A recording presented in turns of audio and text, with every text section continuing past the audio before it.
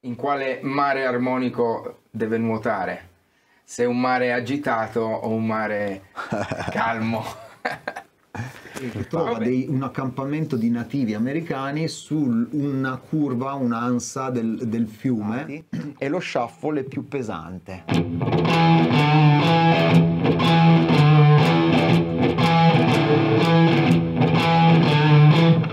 Non si deve mai, dal mio punto di vista, mettere in discussione, non si devono mai mettere in discussione i mezzi, piuttosto si discute sul risultato.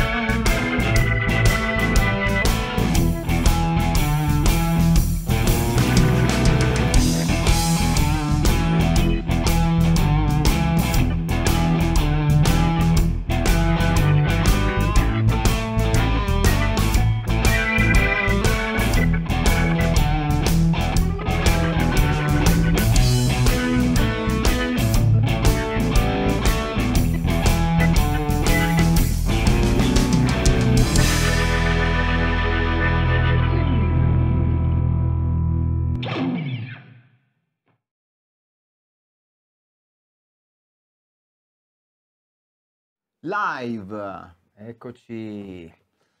Buongiorno ragazzi. puntata numero 3 di Masterclass. Esatto, allora benvenuti al nostro terzo appuntamento con Guitar Coach Podcast Masterclass. Quest'oggi il nostro coach è Miki Bianco. Sì, ma il boss è sempre il boss. Io mi limiterò a fargli delle domande. Allora, visto che sono le prime puntate, eh, precisiamo che i primi, i primi incontri riguardano il libro Bravo, che fallo scritto, lo vedere. facciamo vedere, CSSM, corsi, Corsi- di chitarra elettrica, corsi di scuola superiore di musica, CSSM vuol dire questo. che sono i libri uno. utilizzati, sono i libri di testo ufficiali utilizzati in tutti i circuiti eh, Lizard Accademie, Ma ovviamente li può utilizzare chiunque, sono in vendita. ma utilizzati, devo dire, con piacere anche in molte, molte eh, altre accademie scelti dai- dagli insegnanti. E quindi abbiamo pensato di fare degli- dei podcast di approfondimento sul materiale eh, presente nei- in questi libri. Cominciamo col volume 1 naturalmente e poi penseremo Sì, al volume a questo 2. proposito infatti volevo dire, noi avevamo in passato detto che facevamo le risposte video risposta apposta, però già io anticipo oggi che mm, qualcuno mi chiedeva mm, eh, gli spartiti, è possibile avere gli spartiti? Eh, ragazzi, gli spartiti sono nel libro, quindi noi facciamo... Certo, non possiamo ovviamente per motivi di pubblicarli. copyright, se no ci arrestano.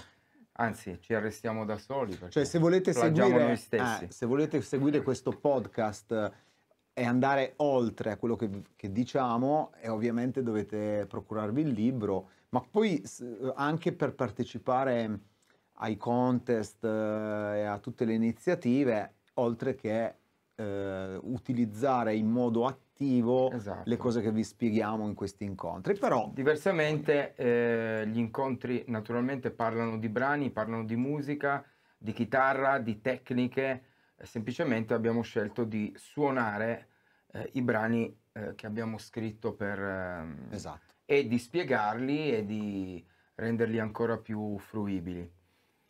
Va bene, io direi di iniziare. Allora, in questo terzo appuntamento ehm, trattiamo un brano scritto da Miki che si intitola Rivière du Detroit e nel, nel caso specifico oggi parleremo della, della ritmica, dell'accompagnamento. Esatto. Partiremo sempre, eh, in ogni cosa che spiegheremo, ove possibile, partiremo sempre dall'aspetto armonico, quindi quello che riguarda l'accompagnamento, la ritmica. Ricordiamoci che la chitarra è intanto un uno strumento che, che dovrebbe, armonico che dovrebbe servire per accompagnare, anche se poi è diventato famoso eh, come strumento melodico per esprimere la propria voce interiore, quindi come strumento melodico. E poi ci teniamo a precisare che è sempre bene e fondamentale, prima di suonare una melodia, capire in quale mare armonico deve nuotare. Se un mare agitato o un mare calmo. Va bene. Allora, Miki, ehm, tanto abbiamo sentito il brano, la parte ritmica del, del brano nel video precedente del podcast. Cerchiamo di, di parlarne. Sì. Intanto l'elemento... Mm, l'elemento principale credo sia quello del, del, dell'accompagnamento del blues tradizionale. No? Ma infatti la prima cosa da dire innanzitutto... Parlando di accompagnamento. Ecco, innanzitutto la prima cosa da dire è che si tratta di uno studio incentrato sul, sul blues, dove normalmente quando si parla eh, nel gergo così eh, abituale, quando parliamo, usiamo la parola blues, nel nostro immaginario scatta subito un genere musicale. Eh. Nella musica, nel mondo della musica a livello tecnico, certo, il blues è un genere musicale, ma eh, ha anche un altro significato, quindi è una, paro- una parola, come si dice, polisemantica. E vuol dire eh, che è una struttura di 12 battute, quindi eh, nell'ambito di quelle che sono le strutture armoniche, quando si parla di blues si sottintende una struttura 12, 12 bar, 12 battute, dove le 12 battute però sono organizzate sempre con chorus di 4 battute, tre chorus di 4 battute, dove il primo chorus eh, di chiamata il secondo chorus di risposta e il terzo, coro, il terzo chorus è il chorus di chiusura, il turnaround, che di solito nella musica tradizionale, negli spiritual, eh, voi immaginate, canti, erano nenie, no? canti di lavoro. Noi in Italia abbiamo gli stornelli, che sono eh, strutture ripetitive, no? E servono, cosa servono? Servono perché intanto eh, chiunque può partecipare al canto immediatamente perché è una struttura, è un cliché e quindi le nenie sono, le troviamo mm, uguali, identiche in Sicilia, in Calabria, in Veneto, nel Lazio e quindi cosa cambiano? I dialetti, però le linee melodiche e le strutture armoniche sono identiche. Forse l'unica eccezione nella musica popolare italiana è la musica sarda che ha una formula armonica e una struttura completamente diversa, però nel resto d'Italia questa cosa è, è un cliché e lo troviamo anche in tutta Europa. Nella musica americana, tradizionale americana, il blues è un po' questo e sono, le, io dico le nenie perché sono questi pattern ripetitivi, sempre uguali, che si ripetono e sono ciclici e di solito sono questi, questi canti, originalmente erano dei canti, servivano per, data la ripetitività, a sopportare meglio il lavoro, la fatica. Infatti è comune nel, appunto, nel mondo del, dei, dei, contadini, nel mondo, come dire, bucolico, e questa cosa qui è accomunata anche nel mondo militare perché eh, le stesse cose riguardano un po' le marce militari, no? che sono certo, delle nenie, oppure all'osteria, quando finito di lavorare si canta tutti insieme e anche se tu non conosci il brano eh, lo senti due volte e poi sei in grado di, di partecipare immediatamente perché tanto la linea melodica è uguale a miliardi di altri brani e le parole, a volte le parole poi erano anche improvvisate perché raccontavano poi le esperienze della quotidianità, no? Infatti nel blues c'è proprio questa particolarità, no? Vabbè, per farla breve adesso tagliamo corto, e perché non voglio fare una conferenza Vabbè, è, è un argomento però appassionante, interessante, sono carino, sicuro che divertente, eh, divertente, una sì. parte di chi ci sta ascoltando sì. eh, scoprirà delle cose nuove Beh, da, eventualmente da approfondire. Sì, sì, certo. Allora, intanto, eh, vabbè, il titolo è una chicca, no? una particolarità. Riviera du Detroit perché intanto questo è un uh, Detroit blues.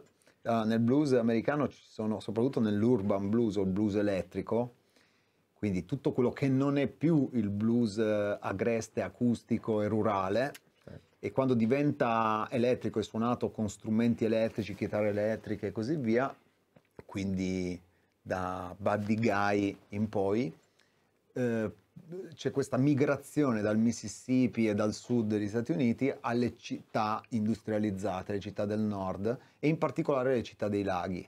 Le città dei laghi, tra cui Chicago, che è tra le più famose, infatti il Chicago Blues è proprio uno stile, rappresenta uno stile ben preciso ed è, ha avuto proprio un'influenza pazzesca anche su quello che poi sarà, diventerà il British Blues, British il rock blues, blues degli anni 60 e la Blues Revolution.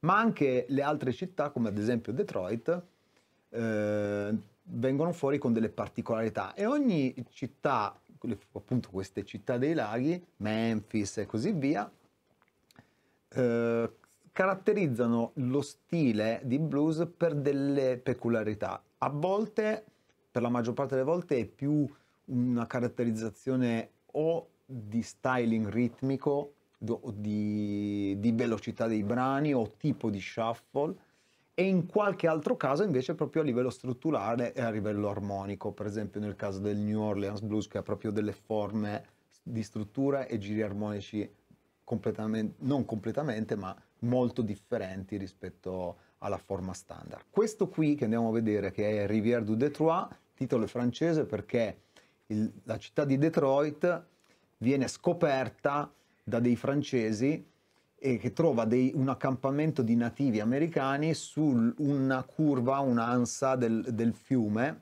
che attraversa questa, questo villaggio e questa, da questo accampamento che poi nasce, da lì nasce il, la città e viene fondata la città di Detroit, il nome è, richiama appunto la curva del, del, fiume, dove in francese è la Rivière du Détroit. E allora ho detto, beh, lo chiamiamo così, il Detroit Blues. Che cosa caratterizza di, il blues di Detroit? Intanto che eh, Detroit è famosa perché tra le città americane ha un tipo di industria legata al mondo dell'automobile.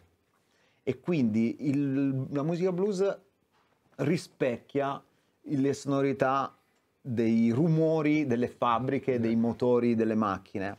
E quindi quello che nel Chicago Blues normalmente suona pacato e morbido, tipo questo groove tipicamente Chicago style. Nel, nel um, Detroit Blues, nel blues di Detroit, a parte le ballad, nel, i medium sono sempre dei tempi che un pochettino più accelerati e lo shuffle è più pesante.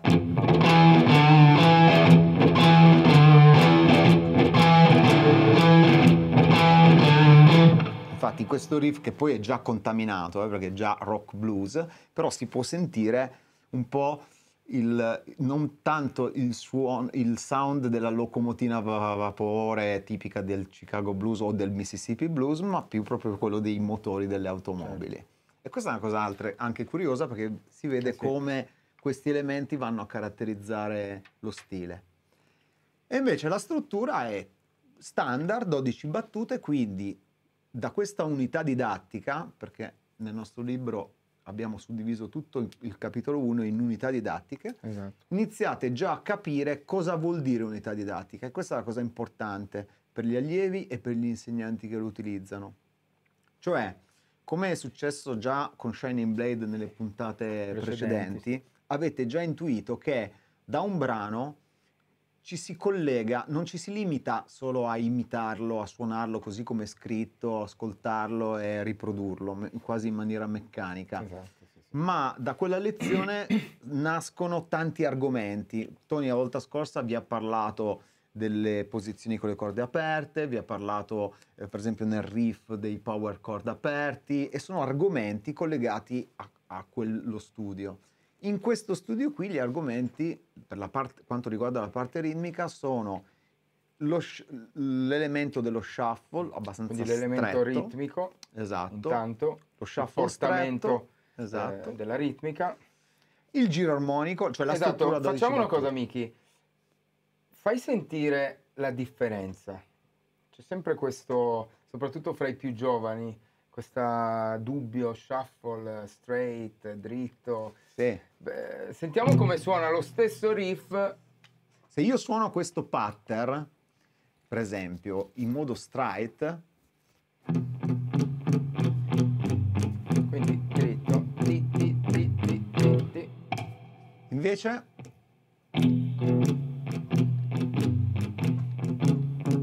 dove il groove non è più a ottavi, ma usiamo la suddivisione a terzine e le prime due crome della terzina le leghiamo Esatto. insieme e la terza invece è staccata. Quindi, Quindi questo. diventa ta a ta ta a ta ta Esatto. a ta ta a ta e non Quindi- più ta ta ta ta ta ta, Esatto. ok?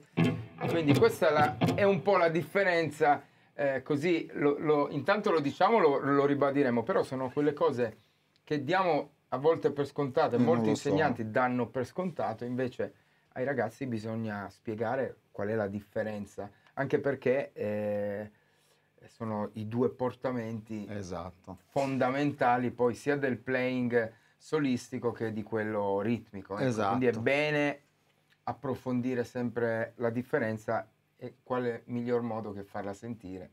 Ecco, qua per esempio la curiosità è anche questa, no? Che se io tengo uno shuffle, un Chicago shuffle sulla corda a vuoto, no?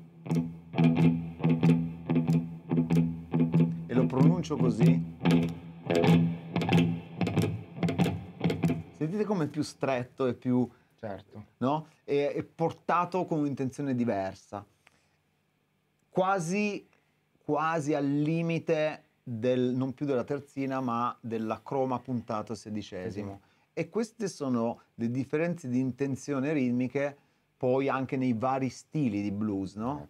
E nello shuffle, nel Detroit, eh, nello stile di Detroit, abbiamo sempre un andamento terzinato, ma con la note- le note più staccate, meno legate tra di loro e quindi un po' più nervoso. esatto. più... Fa- faccela sentire. Qui il groove è questo.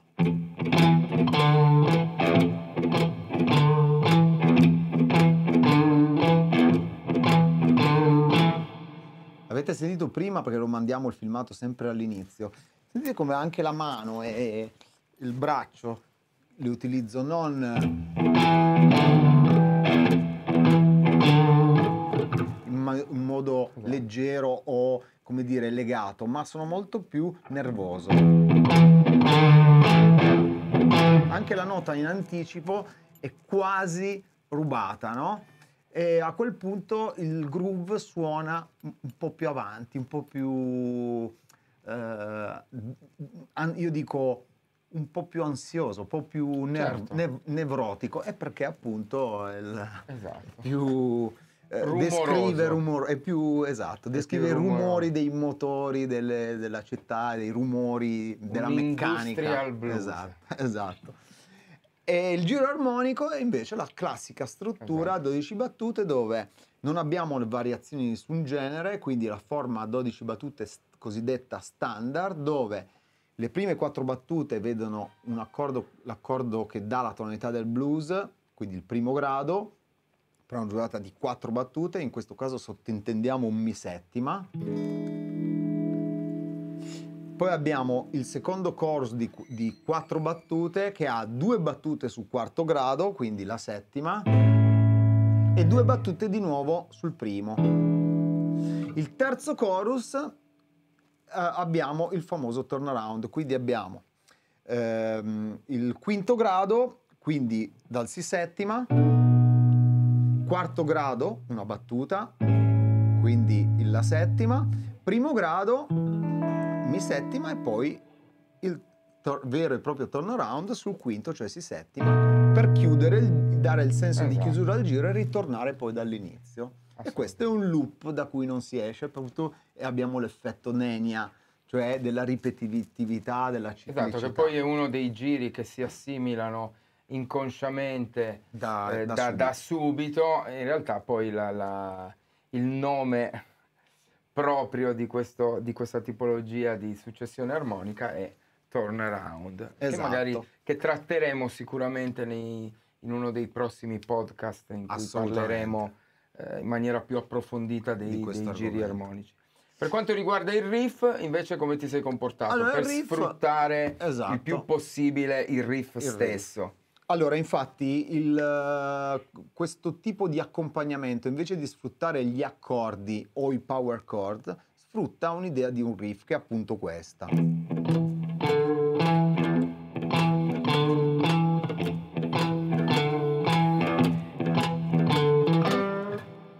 Questo pattern, come se fosse proprio un vero e proprio pattern di quattro battute, poi lo trasporto sui bassi degli Esatto, accordi genera- che, che generano poi gli accordi del giro armonico. Quindi il groove successivo va sull'accordo dell'A, quindi avrò lo stesso riff che modula sull'A, ma sfruttando le corde a vuoto, questa posizione che utilizzo sul Mi, dove suono l'ottava e la settima minore, la sposto Volgarmente, proprio in la maniera... trasporto una corda sotto. Esatto. Quindi corda del La a vuoto e corda del Re per gestire lo stesso riff.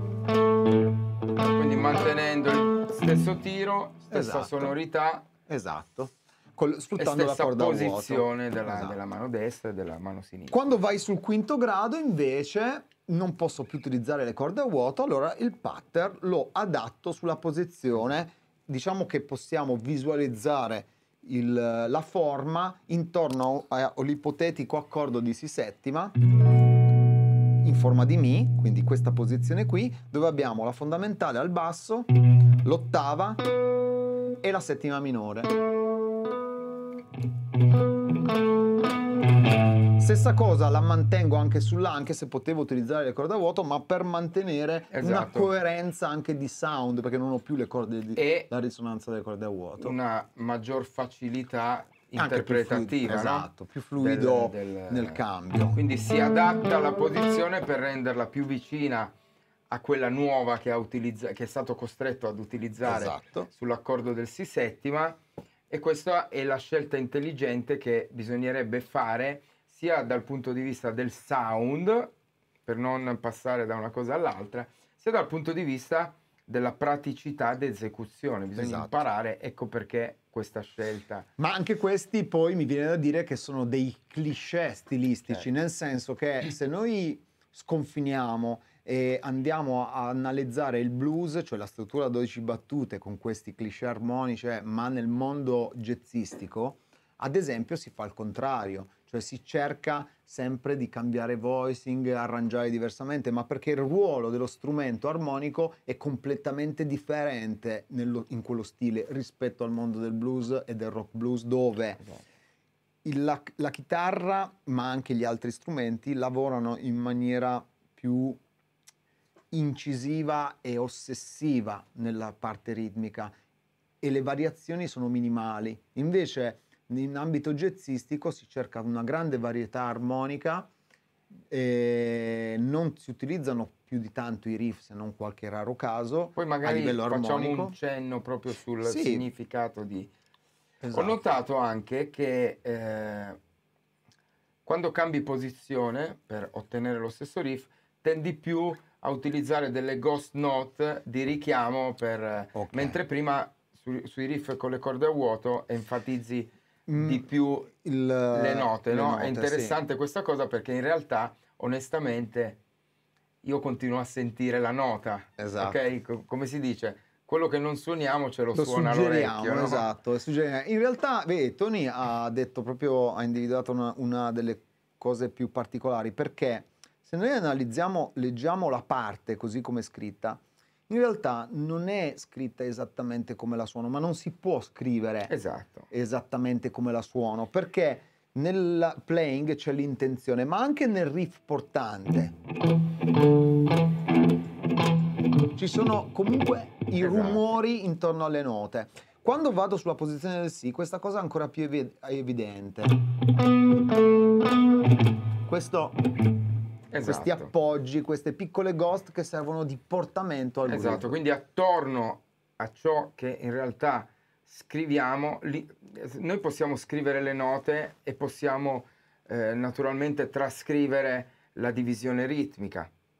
L'intenzione è molto complicata da trascrivere, se non impossibile. Ecco perché invitiamo tutti a utilizzare la partitura quasi come per rendersi conto se, se si è nel- dalla parte giusta, eccetera, ma la cosa Eh, fondamentale poi ascoltare. è lo sviluppo dell'orecchio, perché l'intenzione di ogni chitarrista, di ogni musicista, sta in, in ciò che lui suona attorno a- alle note e alla divisione ritmica. Sono tutte quelle altre cose che stanno attorno, rumorini, intenzione, piccoli ritardi, quindi stare avanti, stare indietro. Sì, Quello è viene- intrascrivibile. Esatto, è intrascrivibile, ma anche perché tra l'altro, questa non è una cosa che riguarda me o te, no, riguarda ma riguarda tutti. tutti gli esseri umani, ovviamente questi elementi di intenzione a volte sono ricercati, voluti e razionalizzati da chi suona, a volte sono talmente intenzionali e inconsci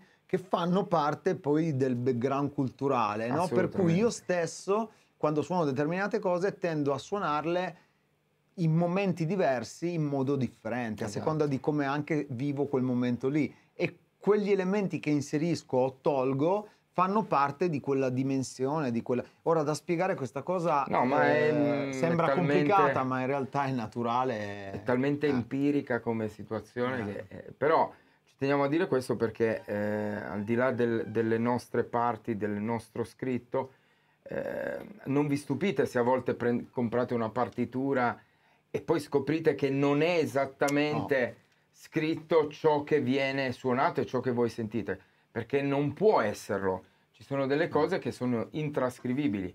Si, si trascrivono le note, la divisione ritmica, ma poi magari quella divisione ritmica è, è- è più allargata sul tempo, è più Esatto. eh, seduta sul tempo si chiama, oppure una, si suona correndo leggermente perché si porta avanti no? Esatto. Oppure si tira indietro. Esatto, quindi perché- mm, esatto. questo ci tenevo a, a precisarlo perché poi tra l'altro come vedete nel riff che suona Miki, eh, quando si sposta sul Si settima, in realtà tutti noi continuiamo a sentire questo basso che ritorna ma lui non lo suona, eppure noi continuiamo a sentirlo, questa è un po' la magia del- del- Esatto. della pratica, no? del suonare.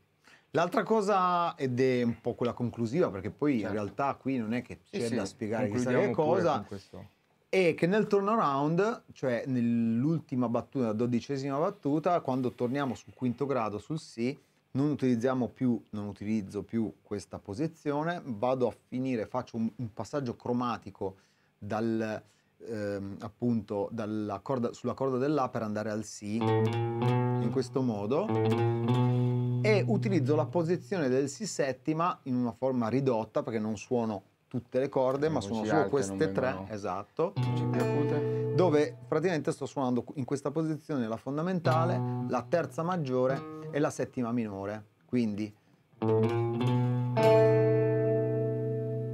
semplicemente. E questo chiude il chorus.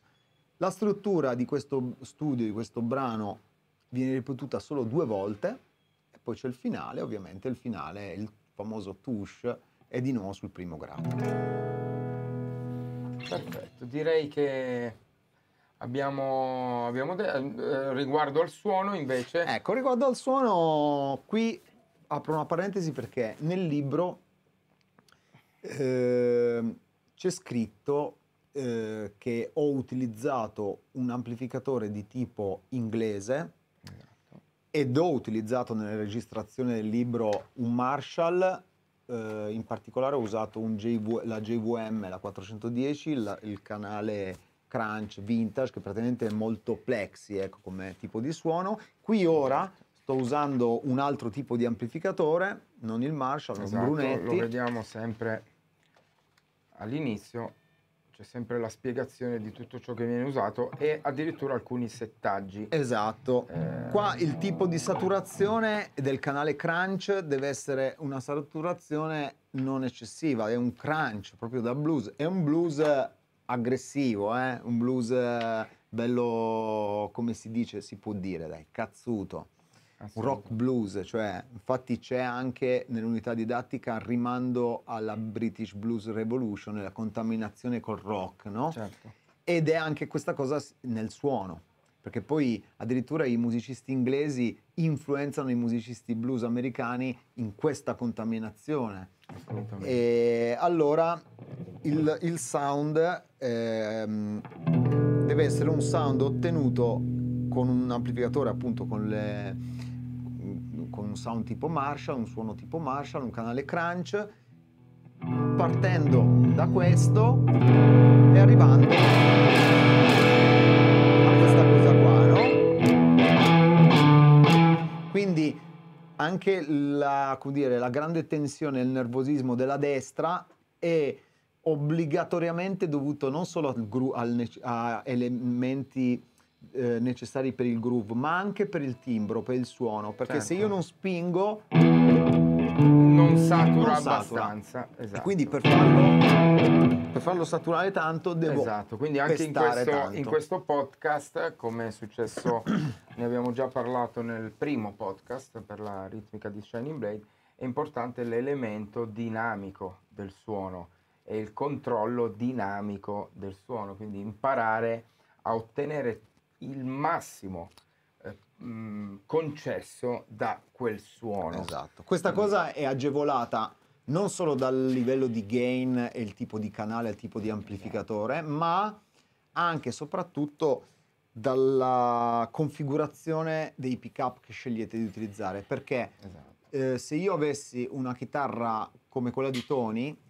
eh, per avere quell'effetto bisogna sicuramente usare la forma splittata dei- Sì. degli humbucker, ma comunque l'humbucker ha un'uscita più Esatto, in tosta, questo caso quindi uso la quarta posizione, cioè l'humbucker splittato. esatto. In ogni caso il manico. segnale di uscita dell'humbucker split, anche se splittato, è più alta di quella di un single coil e quindi eh, a parità di gain magari si ha un po' più di guadagno. Quindi o uno aggiusta chiudendo un po' il volume oppure lo toglie dall'ampli. In questo caso io utilizzo la quarta posizione e quindi il pick up centrale è quello al manico. Quindi se utilizzate una chitarra con l'humbucker si può fare benissimo Certo. su una chitarra tipo Gibson. Se è una, una chitarra come quella di Tony hai la quarta posizione, quindi già hai i pick up Esatto. splittati. Se, hai, se uno ha una Gibson, eh, un, un- una Les Paul, un SG vecchia maniera dove non puoi splittare, perché adesso le fanno con Sì, gli sì, split, eh, esatto. Allora bisogna utilizzare magari la posizione, scegliere tra il compromesso tra il pick up al manico o addirittura il centrale e regolare i livelli, i volumi dei pick up in modo da ottenere un po' una timbrica Certo. Che risponda molto alla dinamica. Sì, di base modo. comunque si parte da un suono, in questo caso eh, partiamo da un suono saturo che aggiustiamo col volume fino a ottenere la possibilità di ottenere un suono quasi clean spingendo poco Esatto. e più saturo come vedete come, come più saturo eh, utilizzando invece l'energia eh, fisica Esatto. del- del- Io del infatti non ho bisogno di chiudere il volume, regolo il gain in modo che già questa cosa è di base, no? E quindi cosa vado a fare? Vado automaticamente a dire se io suono col massimo della dina- a livello dinamico, col massimo della forza della destra, il suono è questo, se suono piano, Esatto, quindi il suono è Potresti quasi, quasi- fare una cosa più funk. È quasi clean, non è clean, si sente che è leggermente Esatto. sporco il suono. Tra ma è- l'altro io personalmente consiglio a tutti di partire da un'idea di base eh, di questo tipo. Come vedete entrambi ragioniamo per quanto riguarda il suono nello stesso modo. Il suono reale è questo. Io Partiamo tutti e due dà un suono reale di partenza, cioè quello che esce dall'ampio è questo. E attenuato col volume e con l'utilizzo della voce della chitarra che sta nei magneti, nei esatto, perché nei legni. come vi e ho detto, i due single coil scaricano parecchio il Esatto. segnale. Ah, Tony infatti prima ha abbassato il selettore, ha dato col pick up al ponte, avete sentito un suono Esatto. da heavy metal, da hard rock. Io se faccio la stessa cosa, idem, uso il pick up al ponte e il suono è un suono Esatto. da hard rock heavy metal, non è un suono da blues, eppure è sempre lo stesso suono. Sempre Questo è il principio un po' della mentalità delle vec- old style, Esatto, delle mono come siamo noi. chi suonava con le monocanali e doveva ottenere un clean, un crunch e un lead da un unico suono e lo facevi Esatto. tutto con i pick up e il Come vedete è possibile, conoscendo bene il proprio strumento, che è quello che noi invitiamo, invitiamo a fare, non c'è bisogno di cambiare necessariamente 100 chitarre o pigiare 2000 volte eh, sul selettore per cambiare canali, cose. Come vedete un, un suono, abbiamo il clean, Esatto. abbiamo i crunch.